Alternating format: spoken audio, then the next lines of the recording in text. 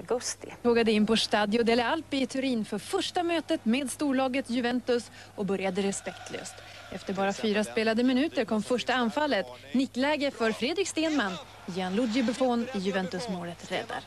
Juventus kom flera gånger till anfall men bra försvarsspel av Djurgården och bra spel av Dembo Toray som sagt att han måste göra sitt livsmatch är enda riktigt vassa målchansen i första halvlek av nyförvärvet Emerson.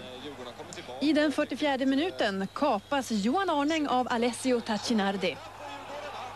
Andreas Johansson tar straffen.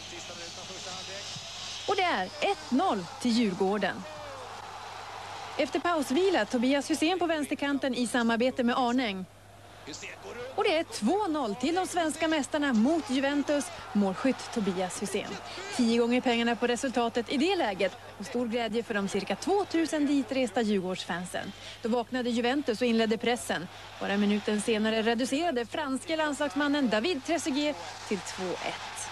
Och nio minuter därefter skicklig nick av brasilianaren Emerson. Och det kvitterat till 2-2. Resten av matchen var i Juventus regi i regnet som började ösa ner. Tobias Hysén försöker sig på ett skott i den 80 minuten. Och på stopptid slår Arning en frispark där nyinbytte Sören Larsen faktiskt har chans att avgöra.